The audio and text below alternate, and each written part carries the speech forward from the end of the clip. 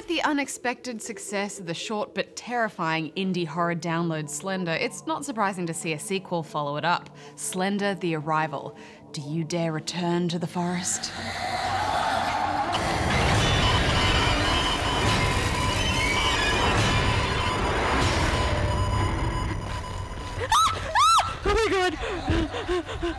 It's amazing how a forum meme has gathered so much momentum that it now has two games, and Slenderman is as scary as ever. The moment I booted up this game, I had the chills, even though nothing had actually happened yet.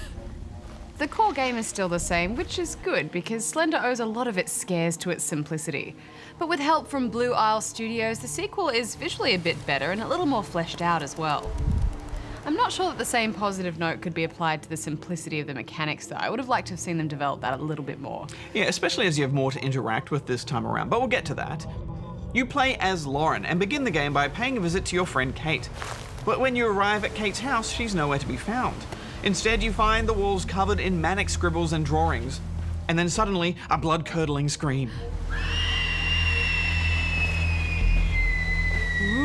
It's classic horror, isn't it? The sun sets all too quickly and, and you're totally in the dark.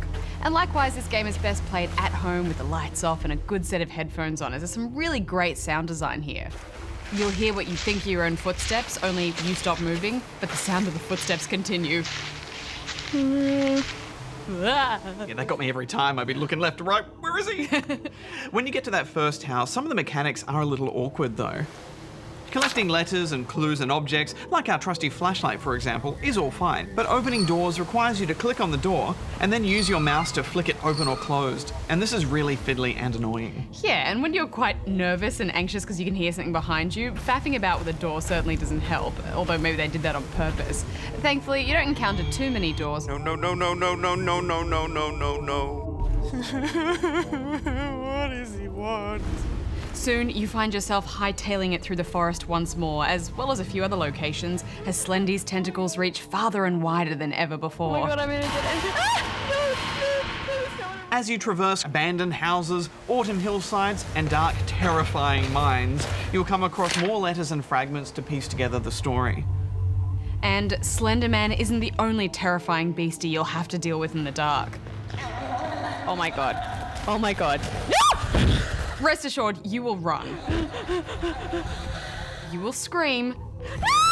No, no, no. And it will take you a few goes to get through some of these stages, which are pretty tough, and the stress just makes it tougher. Not to mention there's a difficulty setting you can adjust if you want to punish yourself. You can choose between normal and... Yeah, I, I tried it.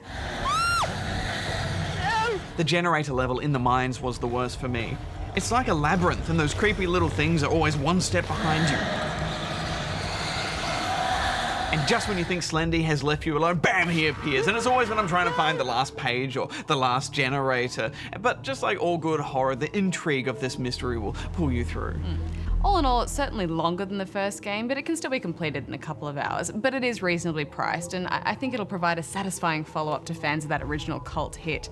Uh, I had to take de stress breaks between each of the stages, Bajo. I was terrified. I'm giving it seven.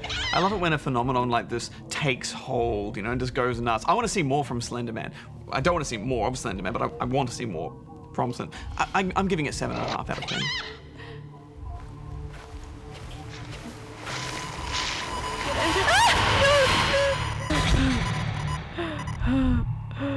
Oh gosh.